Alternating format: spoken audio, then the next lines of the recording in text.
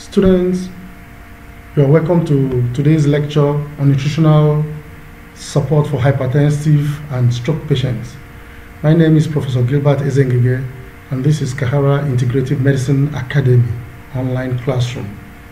Please do not forget to subscribe to our YouTube channel to be updated regularly um, on all our posts.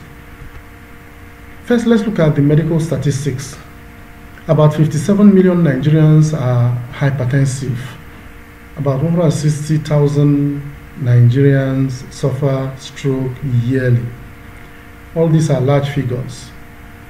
We'll be looking today at foods that can address the heart, the blood vessels, the brain, the nerves, the muscles, kidneys, liver, and blood cells because all these tissues and organs are affected whenever a patient is down with hypertension and stroke. Let's start with Allium sativum, which is garlic. We know that garlic promotes blood circulation. It is an anticoagulant, meaning it prevents thrombosis, you know, due to blood clots. It assists in the treatment of atherosclerosis. It lowers blood lipid, all the fats in you. It reduces high blood pressure. You can take about two to three cloves three times daily, and that will be good enough. Lycopersicum esculentum is another one, which is tomato, very rich in lycopene. Tomato lowers blood pressure. You can blend four ripe average size tomatoes with a glass of water. You take it in the morning and repeat it at night. Very, very helpful for patients of high blood pressure. Musa sapientum is banana, very rich in potassium. It helps in the body, uh, helps the body to maintain normal blood pressure. It reduces cholesterol level. It's a very good food for the brain. Uh, we advise that you take a minimum of about three uh, average size banana a day, and that will be good enough. Allium cepa is onions, you know, um, very rich in quercetin it's an anticoagulant, a blood thinner. It's good for the treatment of angina uh, pectoris, um, which is basically, you know, the pain you experience in the chest, heart area because the heart muscles are not getting enough oxygen as they should. And as such, um, sometimes and uh, characteristically, uh, the pain will be radiating to the left arm, up even down to the fingertips. It lowers cholesterol in the blood, it supports the heart function. It lowers blood pressure too. So you take a medium size of onions and you take it daily. You slice it on all the foods you are eating, and then could be rice, could be various soups or your yam, and then you take them. Phoenix dactylifera is date palm. Date palm controls cholesterol level in the body. I tell you, if you are not diabetic, you need to take a lot of date palm daily. A handful will help. Citrus sinensis orange assists the treatment of atherosclerosis. It lowers blood cholesterol. It helps the heart to function very, very well. It also boosts the immune system. We recommend that you drink freshly expressed ripe orange juice regularly. Citrus paradisi is grapefruit. An intake of grapefruit juice helps to burn fats. It's used in the treatment of atherosclerosis. It controls cholesterol production in the liver. Is grapefruit uh, juice taken at night um, helps to promote sound sleep. Citrus lemon is lemon, very rich in vitamin B's, you know, and it makes our blood vessels to be soft and flexible, and that is elastic. It prevents heart failure juice of a lemon a day in an empty stomach is actually a good practice, very good for general health. Cymbopogon citratus is lemongrass. It's a cardiovascular tonic. It, you know, it has an antioxidant property.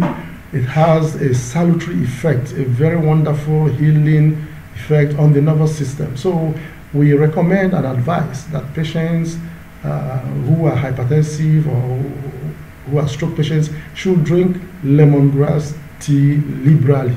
You know, um, it will help them. Zingiber officinale is ginger. It promotes blood circulation. It supports cardiovascular health. It's a wonderful hypotensive, meaning it can lower your blood pressure. It's an immune system enhancer. It relieves headache. All the herbs that we are mentioning and the fruits we are mentioning are not supposed to be taken all together at the same time. You know, your naturopath, your licensed medical herbalist, your doctor can guide you. Nutritionally minded practitioners can guide you. Cocos nucifera is coconut.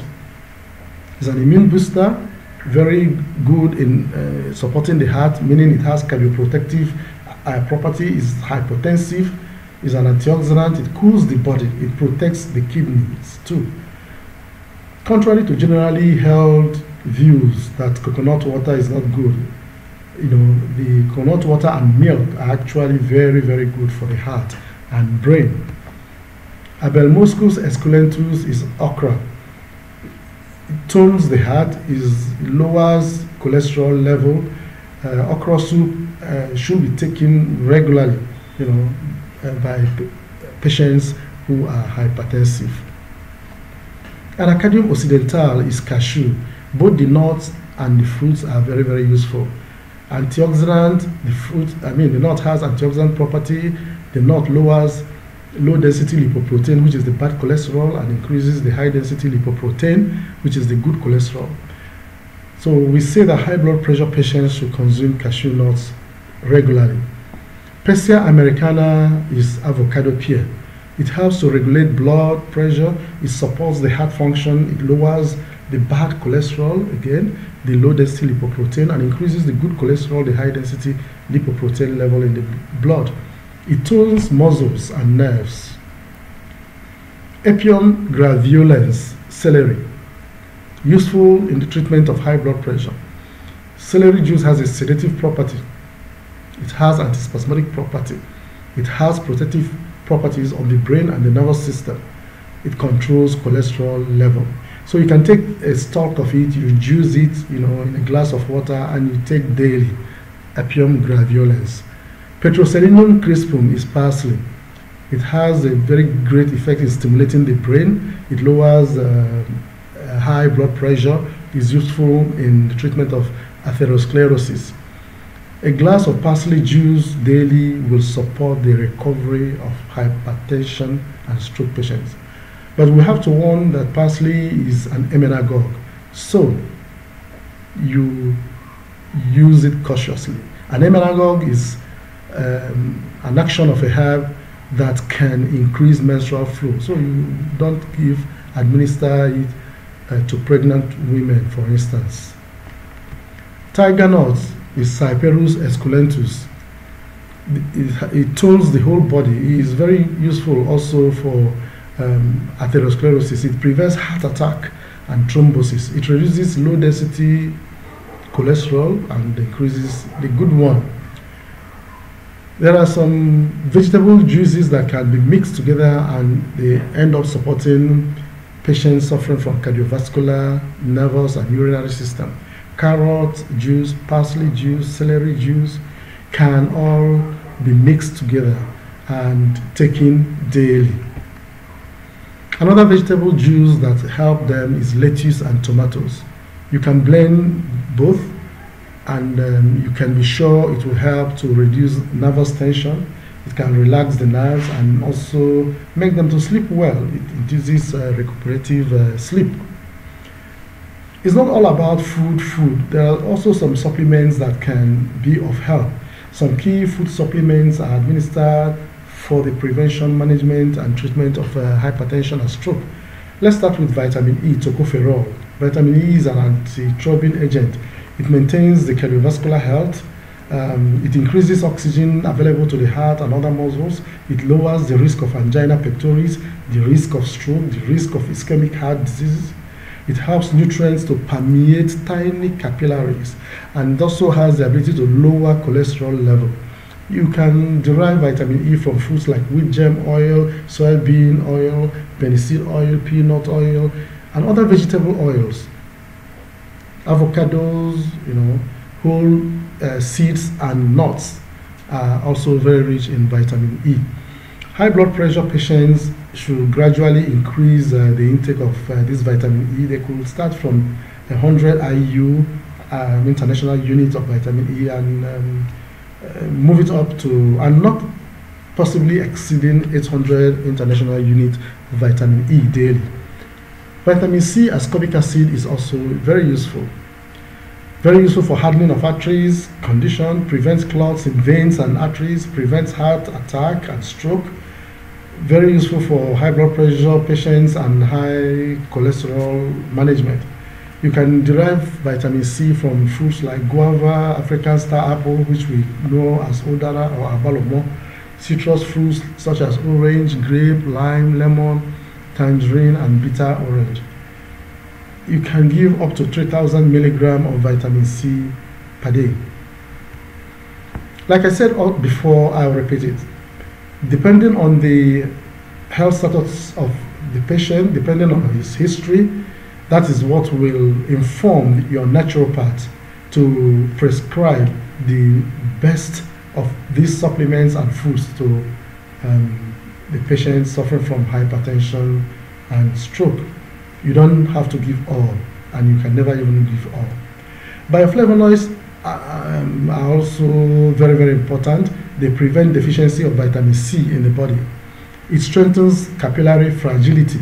So it makes your uh, capillaries not to be fragile so that when it is under pressure, instead of just rupturing and possibly leading to stroke, especially if the rupture takes place in the brain, it could just be a little more elastic so, and that is the essence of uh, taking uh, foods rich in bioflavonoids. And we get them bioflavonoids so much from the that part of your orange or your grape that you throw away. You take the juice and you throw away those white things. You know, that's where the bioflavonoids are really loaded. It prevents bleeding. is a good addition to the treatment of high blood pressure um, patients. Major sources of uh, bioflavonoids are uh, orange rind and the rind of other citrus fruits, which I've mentioned before, um, such as grape, lime, lemon, tangerine, and bitter orange. Other sources are apples, onions, cabbage, and green pepper. You can give up to 1000 milligram daily of bioflavonoids. Coenzyme Q10 also known and called ubiquinone, is a very powerful antioxidant similar to and in a class of vitamin E. It supports tissue oxidation, it improves blood circulation, it lowers cholesterol level in the blood, it's useful in the treatment and um, prevention and treatment of cardiovascular disorders. Major sources of uh, coenzyme Q10 include your uh, natural fish like mackerel, sardines, salmon, and also peanut, spinach, beef, and uh, liver. You can give up to 50 to 200 milligram daily of coenzyme Q10. Selenium is an important mineral that uh, sufferers of hypertension and stroke also require. This mineral is closely related again to vitamin E. It prevents hardening of arteries. It is needed for healthy tissue elasticity. Major sources of selenium include your liver, your wheat germ, tomatoes, whole grain cereals, seafood, kidneys, uh, onions, garlic, brown rice, mushroom can give up to 200 to 500 microgram per day. Calcium is yet another mineral that calms the nerves. It maintains good cardiovascular function. It improves nerve impulse transmission. Good sources, bone meal shrimps, lobsters, you know, cheese, sardine, carrot, almond, banana, coconut, dates, grapefruit, pineapple, uh, nettle, your sorrel, which is the zobo, kale, peanut, and spinach. In some situations, you can administer up to 2,000 milligram of calcium per day. Magnesium also go hand in hand with calcium. It's a remedy for irritability. It assists angina and coronary thrombosis and prevents heart attack. It's a good remedy for treatment and management of neuromuscular disorders. It prevents high cholesterol in the blood, it lowers hardening of arteries, is an anti-stress remedy. You can give, uh, you can get it from almond nuts, from cashew nuts, from walnuts, green products, um, dark green vegetables, soy products, banana, cucumber, lettuce, okra, apple, lemon, dandelion, and parsley up to 700 milligram per day can be administered in divided doses. Fish oil omega-3 fatty acid supports the cardiovascular health. It lowers blood pressure. It lowers um, triglyceride level. It prevents heart diseases and stroke. It improves mental health. It improves nervous system. A major sources of omega-3 fatty acid include fish oil, you know, um, salmon, sardine, cod liver oil. In some cases, you can give up to 4 grams of omega uh, 3 fatty acid fish oil. There's a wise saying that prevention is always better than cure. And how do we do it in, uh, in naturopathy? When we have patients, both for the prevention and for the treatment of hypertension and stroke, we concentrate on the organs that we know are generally affected such organs like your brain and nerves, your heart, your kidneys, your liver, and so on and so forth. So, starting from the brain and nerves, we can give uh, recommend electric fish. Many of us do not even know what electric fish is all about. Most have not even tested it, but it's very good. It's something that helps the brain to be very, very alert and healthy, and the nerves to function properly.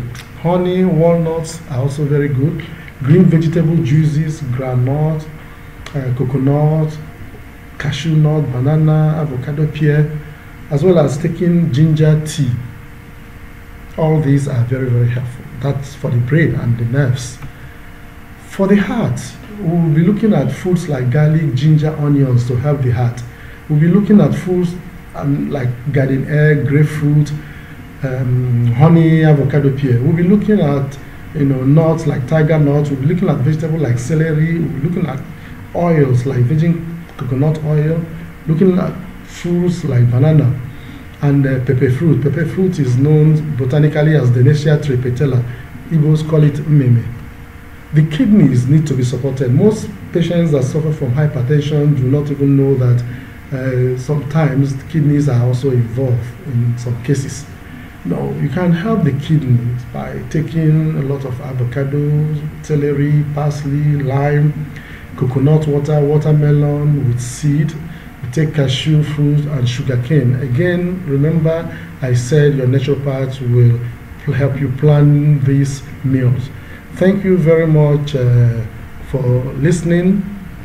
And uh, we say keep reading, keep improving yourself, keep making research. Uh, we encourage that among our students in Kahara Integrative Medicine Academy.